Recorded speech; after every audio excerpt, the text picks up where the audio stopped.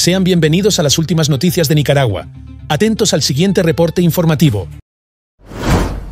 En medio de la oscuridad que se cierne sobre Nicaragua, la Semana Santa se convirtió en un campo de batalla espiritual, donde la dictadura Ortega Murillo desplegó su férreo puño represor contra la libertad religiosa. El aura sagrada de la celebración fue sofocada por el peso de miles de agentes policiales, quienes convirtieron las procesiones en prisiones de fe, restringiendo el paso de la feligresía como si se tratara de delincuentes en busca de redención. La investigadora Marta Patricia Molina, exiliada por la opresión del régimen, desveló una maquinaria represiva sin precedentes. 4.800 procesiones amordazadas en la penumbra de la cuaresma, más de 4.000 uniformados acechando a los creyentes dentro de los templos y siete valientes encarcelados por cumplir con sus votos sagrados.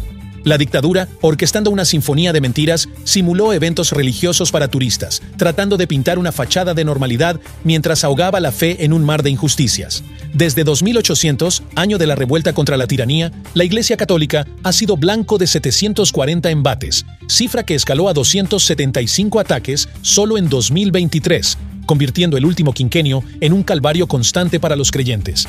Sin embargo, entre sombras y persecuciones, resplandeció el Viernes Santo en Sutiaba, León, donde la fe del pueblo indígena desafió las cadenas impuestas por el régimen, llevando el santo entierro por las calles prohibidas en un acto de valentía y devoción que desafía la represión y eleva la llama de la resistencia popular. A pesar del asedio y la represión de la dictadura de Daniel Ortega y Rosario Murillo en contra de la Iglesia Católica, los feligreses acudieron masivamente para orar por Nicaragua, obispos, sacerdotes y particularmente por sus intenciones personales la noche del jueves santo, que marca el inicio del trido pascual que finaliza el sábado santo, los feligreses abarrotaron los templos para participar de la misa del lavatorio de pies, en donde se conmemora la última cena de Jesucristo antes de ser apresado para ser juzgado y condenado a muerte. Pese a la persecución y el constante asedio hacia la Iglesia Católica del régimen sandinista, los feligreses acudieron a la Catedral de Managua para participar de la misa crismal, en donde el arzobispo de Managua, el cardenal Leopoldo Brenes, preparó y bendijo los óleos que son utilizados en la administración de sacramentos como bautismo, confirmación, unción de enfermos y administración de órdenes sagradas. En medio del asfixiante yugo impuesto por el régimen opresor de Daniel Ortega en Nicaragua, la luz de la fe brilla con destellos de esperanza en tierras costarricenses. William Jaime emerge como un símbolo de resistencia al cargar sobre sus hombros la imagen de Jesús en el Via Crucis de Solidaridad, donde la Iglesia Católica de Costa Rica alza su voz en apoyo a los católicos nicaragüenses que sufren la implacable persecución del gobierno dictatorial.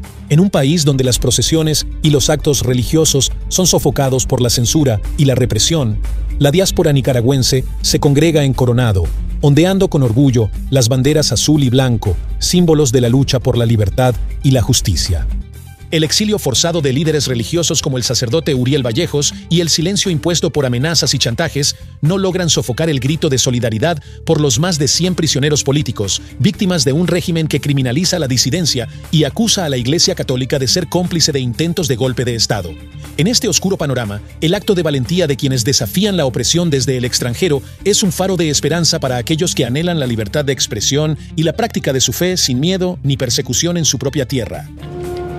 William Jaime se siente privilegiado por haber cargado en sus hombros la imagen de Jesús durante el Via Crucis que la Iglesia Católica de Costa Rica realizó este domingo de Ramos en solidaridad con los católicos nicaragüenses. Ya que en Nicaragua sabemos que hay una represión contra la Iglesia Católica y que está prohibido lo que serían los Via Crucis y procesiones. En Nicaragua por segundo año las parroquias católicas realizan las procesiones de Semana Santa dentro de los templos, ante las presuntas prohibiciones del gobierno, según explica el sacerdote Uriel Vallejos, quien se encuentra exiliado en Costa Rica desde el 2022. Sabemos que el silencio está por las amenazas, el chantaje que tiene el gobierno hacia el gobierno y todos tenemos que comprender muy bien la realidad en que se vive internamente. Las banderas azul y blanco acompañaron el recorrido del Via Crucis en la ciudad de Coronado, donde se congregó la diáspora nicaragüense. En un vergonzoso espectáculo de autoritarismo y represión, la policía en Nicaragua ha desatado una ola de detenciones arbitrarias durante las festividades de Semana Santa, demostrando una vez más su desprecio por la libertad religiosa y los derechos humanos fundamentales. La abogada Marta Patricia Molina, valiente defensora de las víctimas de persecución religiosa en el país, ha revelado la siniestra realidad tras las rejas, donde jóvenes católicos son apresados por el simple acto de cumplir promesas de fe. Con una crueldad sin precedentes, la Policía Nacional ha secuestrado a siete jóvenes inocentes, cuatro de ellos en León y tres en Managua, acusándolos de llevar a cabo prácticas religiosas que el régimen Ortega Murillo considera peligrosas para su control despótico.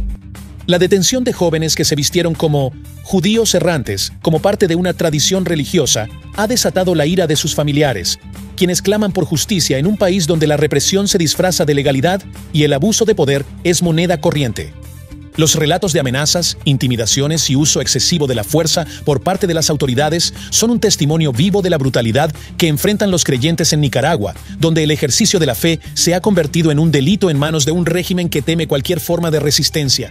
La Iglesia Católica, sometida a una vigilancia policial implacable y a la prohibición de miles de procesiones, se ve obligada a realizar sus rituales sagrados bajo la sombra de la opresión, mientras el Via Crucis se ve interrumpido y frustrado por las órdenes dictatoriales de coartar la libertad de culto en plena celebración de la Semana Santa. La voz de los oprimidos clama por justicia, mientras el gobierno Ortega Murillo ahoga los gritos de fe en un mar de injusticia y arbitrariedad.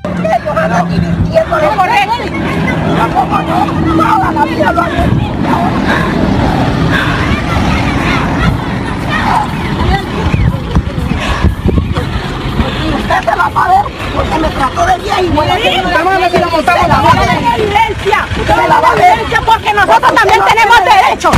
Y los derechos de la madre no se pueden violar. ¿Es así o no es así? No, porque no lo tienen que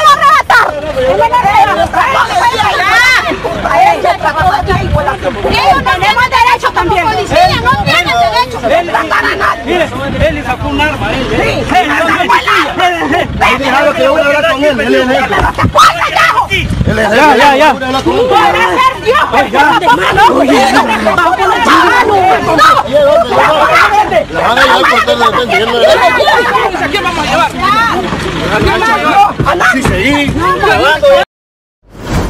En un fervoroso discurso cargado de simbolismo y esperanza, el sacerdote Marcos Somarriba proclamó desde el púlpito de la Iglesia Católica Santa Ágata en Miami la buena nueva de la resurrección del Señor, como un faro de luz en medio de las tinieblas que envuelven a los pueblos oprimidos.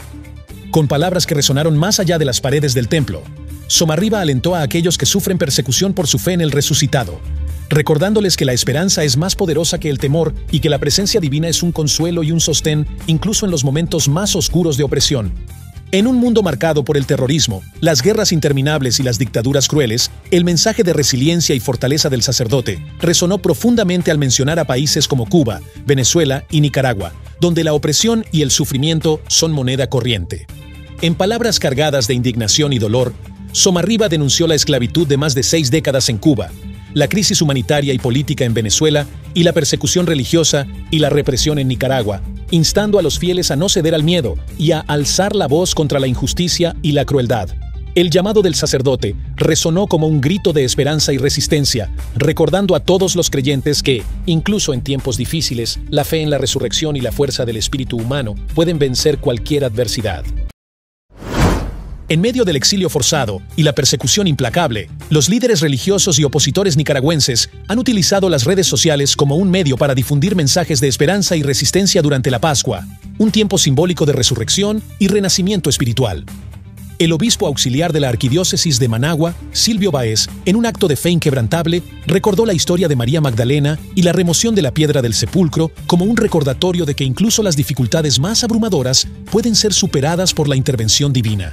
Sin embargo, este mensaje de esperanza se teñía de tristeza al recordar que el obispo Báez cumplirá cuatro años de exilio debido a amenazas de muerte, reflejando la dura realidad de los líderes religiosos perseguidos en Nicaragua. Por otro lado, el sacerdote Edwin Román, desde su ministerio pastoral en Miami, evocó la noche oscura que atraviesa Nicaragua, llamando a que la fe y la esperanza iluminen el camino hacia una Nicaragua liberada de la opresión. Su experiencia como exiliado desde agosto de 2021 resalta el sacrificio y la lucha de aquellos que han tenido que abandonar su tierra en busca de seguridad y libertad.